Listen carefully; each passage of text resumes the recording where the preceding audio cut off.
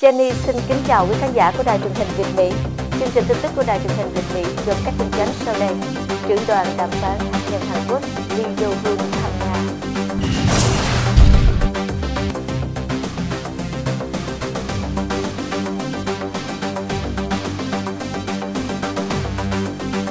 Cạnh tranh chính trị ở Hoa Kỳ cản trở cuộc gặp mặt thượng đỉnh Nga Mỹ.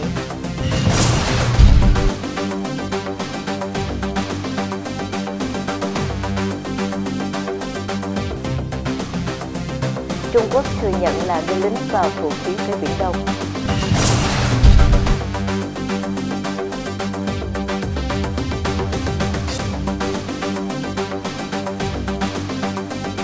Trung Quốc đưa vũ khí ra Biển Đông nhằm đe dọa các nước láng giềng.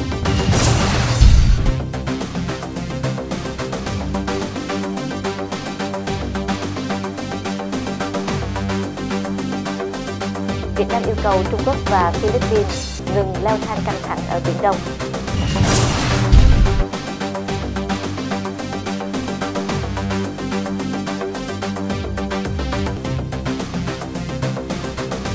Và sau đây là phần điểm tin thế giới.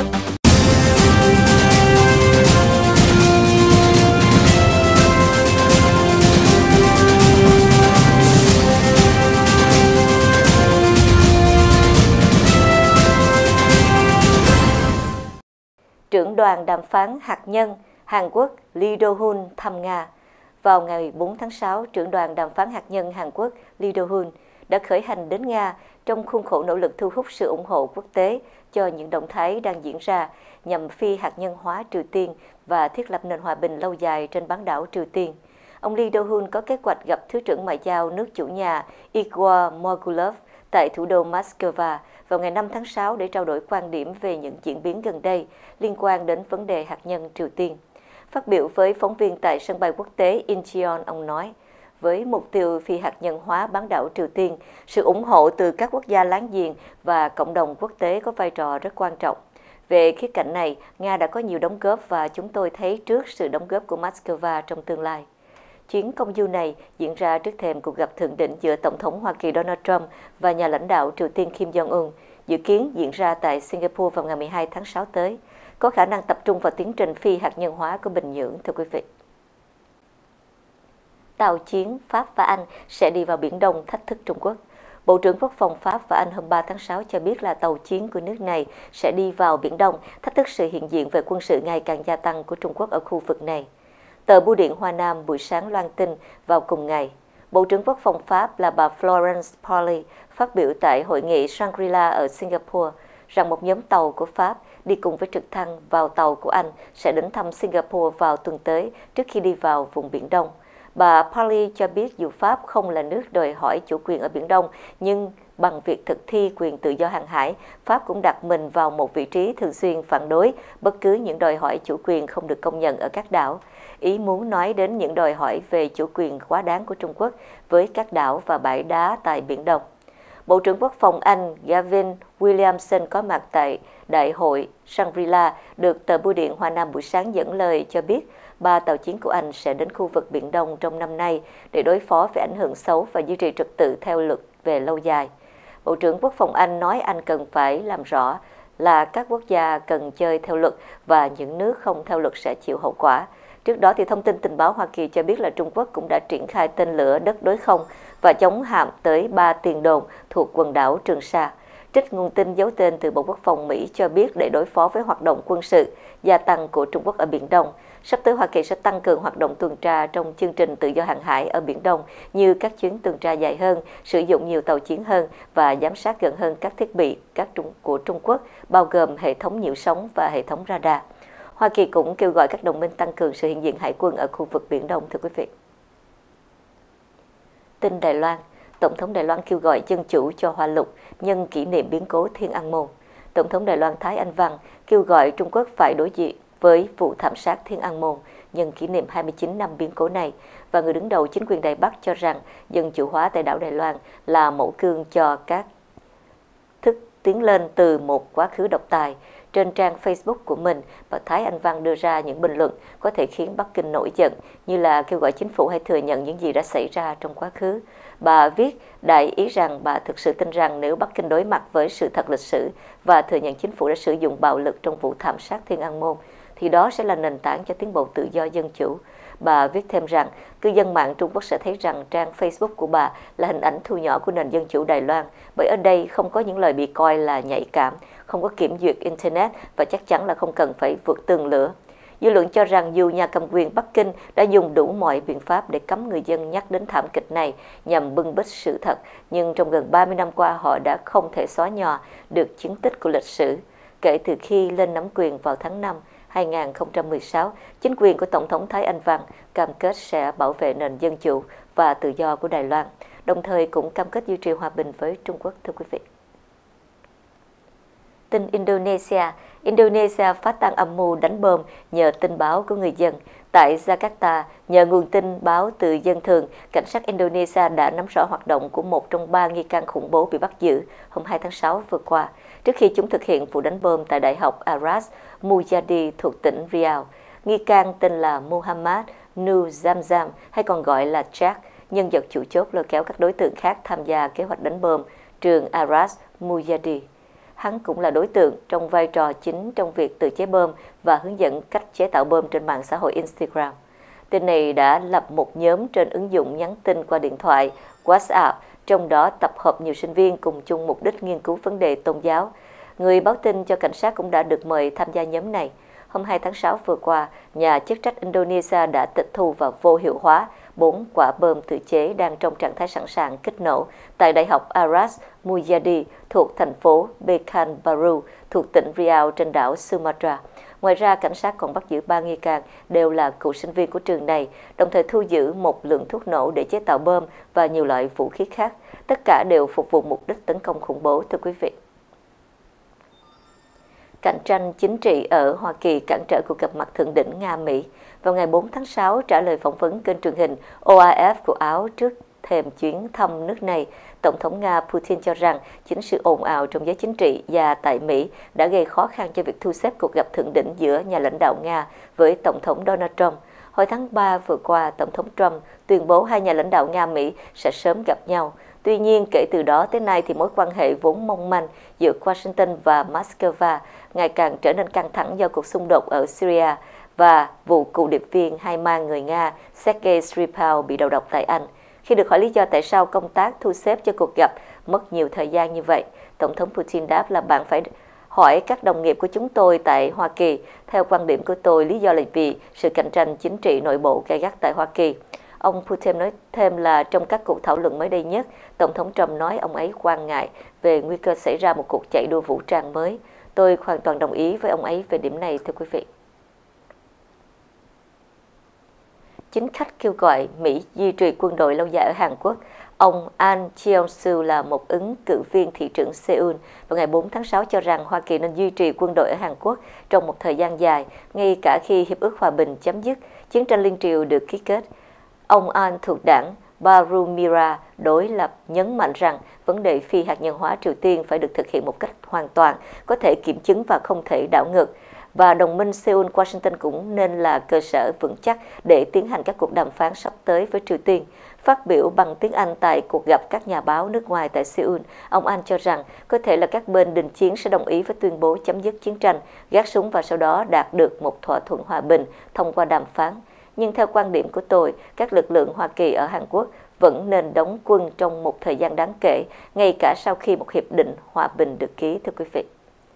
Tin Libya, Quốc hội miền Đông ủng hộ chính phủ lâm thời sau hội nghị Paris. Vào ngày 3 tháng 6, chính phủ lâm thời miền Đông Libya thông báo Quốc hội miền Đông sẽ hỗ trợ chính phủ lâm thời thông qua những thỏa thuận mới để dỡ bỏ những hạn chế được áp đặt trong thỏa thuận chính trị được ký kết năm 2015 tại Maroc dưới sự bảo trợ của Liên Hiệp Quốc. Thông báo này được đưa ra chỉ vài ngày sau hội nghị Paris tập hợp các đảng phái chính trị của Libya để thảo luận giải pháp cho cuộc khủng hoảng chính trị tại quốc gia Bắc Phi. Theo một tuyên bố của chính phủ lâm thời vào ngày 2 tháng 6, Chủ tịch Quốc hội miền Đông Aguila Salaf đã tổ chức cuộc họp mở rộng với nội các của chính phủ lâm thời để thảo luận về những thỏa thuận mới liên quan đến công việc của chính phủ và Ngân hàng Trung ương Libya. Ông Saleh cho biết là các chính sách sẽ được chính phủ lâm thời và Ngân hàng Trung ương Libya thông qua để cải thiện điều kiện sống và các dịch vụ công phục vụ cho nhân dân phù hợp với kết quả của hội nghị Paris. Những thỏa thuận này được thực hiện dựa trên sự phối hợp giữa các bên liên quan, gồm Thủ tướng Abdullah Tani, Thống đốc Ngân hàng Trung ương Libya là Ali Ahebri và Tổng tư lệnh quân đội Khalifa Haftar. Dự kiến sẽ được công bố sau tháng lễ Ramadan và Eid giữa tháng 6 2018.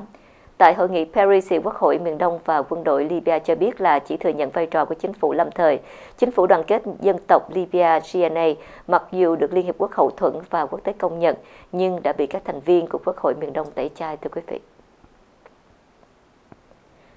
Đoàn tàu hạm đội Thái Bình Dương, Hải quân Nga thăm cảng Cam Ranh. Được sự đồng ý của Bộ Quốc phòng Việt Nam vào ngày 3 tháng 6, đoàn tàu hạm đội Thái Bình Dương Hải quân Liên bang Nga gồm 3 chiếc Admiral Tribus và Admiral Vinogradov và tàu Pechenga cùng 76 sĩ quan, 680 quân nhân, thủy thủ và 63 nhân viên đã cập cảng quốc tế Cam Ranh, Khánh Hòa bắt đầu từ chuyến thăm Việt Nam từ ngày 3 đến 6 tháng 6. Tham dự lễ đón tàu Hải quân Nga có đại diện quân chủng Hải quân, Cục Đối ngoại, Văn phòng Bộ Quốc phòng, Sở Ngoại vụ tỉnh Khánh Hòa và Cục Bảo vệ An ninh quân đội. Chuyến thăm lần này của đoàn tàu Nga là một trong những hoạt động cụ thể triển khai các nội dung thỏa thuận giữa lãnh đạo Bộ Quốc phòng hai nước thời gian qua, góp phần tăng cường quan hệ hữu nghị truyền thống giữa hai nước, thúc đẩy quan hệ hợp tác quốc phòng song phương, trong đó có hợp tác hải quân. Trong thời gian chuyến thăm, nhóm sĩ quan chỉ huy đoàn tàu chào xã giao lãnh đạo Ủy ban Nhân dân tỉnh Khánh Hòa, Bộ Tư lệnh Vùng 4 Hải quân đặt vòng hoa tại đài tưởng niệm các quân nhân Liên Xô,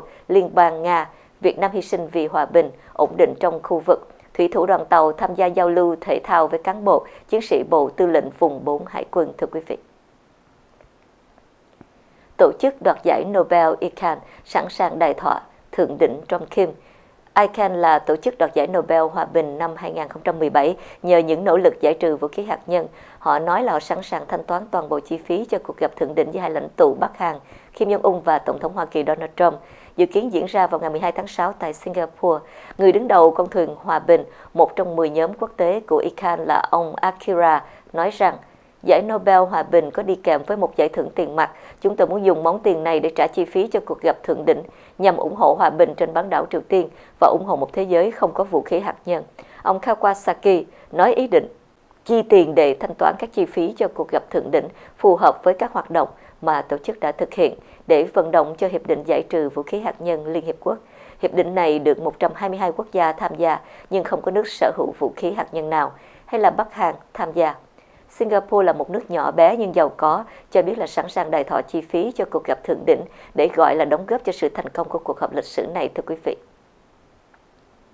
Tin Trung Quốc, Trung Quốc thừa nhận đưa lính và vũ khí tới Biển Đông. Bắc Kinh tuyên bố là có quyền triển khai binh sĩ và vũ khí tới các hòn đảo nước này, tuyên bố chủ quyền ở Biển Đông, đáp lại chỉ trích của Bộ Quốc phòng Mỹ Jim Mattis về việc Trung Quốc quân sự hóa vùng biển tranh chấp giữa nhiều nước này. Tất cả những lời nhận xét thiếu trách nhiệm là can thiệp vào công việc nội bộ của Trung Quốc. Ông Lê nói trong một cuộc họp báo. 2 giờ sau khi ông Mattis tuyên bố rằng các hoạt động quân sự của Bắc Kinh ở vùng biển tranh chấp đã và đang đe dọa và cưỡng ép các nước láng giềng. Đây là lần đầu tiên một quan chức quân sự Trung Quốc công khai thừa nhận tại một sự kiện quốc tế lớn về việc đưa binh sĩ và vũ khí tới các hòn đảo nhân tạo mà nước này đã bồi đắp ở quần đảo Trường Sa và quần đảo Hoàng Sa trong cuộc gặp với cựu Tổng thống Mỹ Barack Obama khi thăm Hoa Kỳ năm 2015, Chủ tịch Tập Cận Bình đã bác bỏ kế hoạch thiết lập một cơ sở quân sự ở Biển Đông, thưa quý vị. Tổng thống Syria đi thăm lãnh tụ Bắc Hàn. Tổng thống Syria là Bashar al-Assad cho biết là ông không có ông có kế hoạch đến thăm lãnh tụ Kim Jong-un. Truyền thông Bắc Hàn đưa tin hôm 3 tháng 6, nếu chiến công du diễn ra, đây có thể coi là cuộc gặp đầu tiên giữa ông Kim và một nguyên thủ nước ngoài ở thủ đô Bình Nhưỡng. Tôi sẽ đi thăm Cộng hòa Dân chủ Nhân dân Triều Tiên và gặp ngài Kim Jong-un, ông Assa nói hôm 30 tháng 5. Theo hãng thông tấn Triều Tiên KCNA, tin cho hay là ông Assa thông báo như vậy khi đại sứ Bắc Hàn Moon Jong-nam tới trình quốc thư. Bình Nhưỡng và Damascus duy trì mối quan hệ tốt đẹp và các quan sát viên Liên Hiệp Quốc đã cáo buộc là Bắc Hàn hợp tác với Syria về chương trình vũ khí hóa học, nhưng chính quyền của ông Kim Jong-un đã bác bỏ, thưa quý vị. Tổng thống Philippines hôn môi nữ công nhân, cộng đồng dậy sóng. Nụ hôn của Tổng thống Duterte với một người phụ nữ Philippines tại Hàn Quốc đã vấp phải sự phản đối của những người ủng hộ nữ quyền. Tuy nhiên, theo người dân Philippines đó chỉ là một vụ hôn vô hại vì nhà lãnh đạo nước này chỉ muốn tạo bầu không khí vui vẻ cho buổi gặp gỡ kiều bào. Những người chỉ trích cho rằng ông Duterte 73 tuổi từ trước đến nay là một người ghét phụ nữ và nói rằng những lời nhận xét của ông là gây xúc phạm và hạ nhục nữ giới vì ông chỉ xem nụ hôn là một mánh khóe để làm vui lòng những người ủng hộ ông tại sự kiện gặp gỡ với cộng đồng người Phi ở Seoul. Trước khi kết thúc bài phát biểu trước cộng đồng người Philippines ở Seoul hôm 3 tháng 6, Tổng thống Phi Duterte nói rằng sẽ tặng một quyển sách để đổi lấy một nụ hôn và đề nghị cụ thể một khán giả. Ông trao cuốn sách có tựa đề Án thờ bí mật, tình dục, chính trị và tiền bạc trong giáo hội công giáo Philippines cho một nữ lao động Philippines ở Hàn Quốc và hôn lên môi cô. Tuy nhiên, việc ông Duterte hôn người phụ nữ tại sự kiện gặp kiều bào đã gặp phải sự phản đối. Bà John Salvador là Tổng thư ký Tổ chức Bảo vệ Nữ quyền Gabriela của Phi nói hành động hôn một phụ nữ như vậy là bệnh hoạn. Thưa quý vị, Trung Quốc lại cảnh báo Mỹ về thương mại. Trung Quốc hôm 3 tháng 6 cảnh báo Hoa Kỳ rằng bất kỳ thỏa thuận nào giữa hai nước về thương mại sẽ không còn giá trị nếu Washington thực hiện việc áp thuế cũng như là triển khai biện pháp khác về thương mại. Một tuyên bố ngắn được Tân Hoa Xã đăng tải, không đề cập tới thỏa thuận cụ thể mới nào, sau khi Bộ trưởng Thương mại Mỹ Wilbur Ross gặp Phó Thủ tướng Trung Quốc Liu He. Thay vào đó là tuyên bố này nhắc lại một thỏa thuận đạt được tháng trước ở Washington rằng Trung Quốc đồng ý gia tăng đáng kể việc nhập khẩu hàng hóa của Hoa Kỳ. Tân Hoa Xã viết rằng những thành tựu mà Trung Quốc và Hoa Kỳ được nên dựa trên tiền đề rằng hai bên được tiến hành một cuộc chiến thương mại nếu Hoa Kỳ đưa ra các biện pháp trừng phạt về thương mại, trong đó có nâng mức thuế họ quan, tất cả các thành tựu về kinh tế và thương mại và hai phía đàm phán sẽ không còn giá trị, thưa quý vị. Áo kêu gọi Liên minh châu Âu dỡ bỏ các lệnh trừng phạt Nga. Phó Thủ tướng Áo Heinz Christian Strass kêu gọi Liên minh châu Âu EU dỡ bỏ các lệnh trừng phạt Nga trong bối cảnh Hoa Kỳ quyết định áp đặt các mức thuế mới đối với sản phẩm nhôm và thép nhập khẩu từ khối này. Trước đó, thì ngày 31 tháng 5, Tổng thống Hoa Kỳ Donald Trump tuyên bố sẽ dỡ bỏ những sự miễn trừ và áp thuế 25% đối với thép và 10% đối với mặt hàng nhôm nhập khẩu từ EU, Canada và Mexico. Vào ngày 2 tháng 6 khi trả lời câu hỏi về việc liệu chính sách của EU đối với Nga có nên thay đổi khi chủ nghĩa bảo hộ đang gia tăng trong chính sách thương mại của Hoa Kỳ hay không, Phó Thủ tướng Áo nói việc xem xét lại chính sách của EU đối với Nga sẽ là thỏa đáng bởi vì các lệnh trừng phạt nói trên hoàn toàn gây tổn hại đến nền kinh tế của Áo. Tôi luôn cảnh báo không đẩy Nga về phía Trung Quốc. Đây chính là thời điểm chấm dứt các lệnh trừng phạt gây tổn thương này và bình thường hóa quan hệ kinh tế và chính trị với Nga. Kể từ năm 2014, quan hệ giữa Nga và phương Tây đã trở nên xấu đi do cuộc khủng hoảng tại Ukraine. Mỹ, EU và một số nước đồng minh của họ đã tiến hành nhiều lệnh trừng phạt Nga sau khi Moscow sát nhập bán đảo Crimea vào Nga và những cáo buộc về sự liên quan được cho là của Nga vào cuộc khủng hoảng Ukraine. Thưa quý vị. Vừa rồi là phần điểm tin thế giới. Chúng tôi xin tạm ngừng chương trình tin tức trong giây lát và sẽ trở lại sau phần quảng cáo thương mại. Thưa quý vị.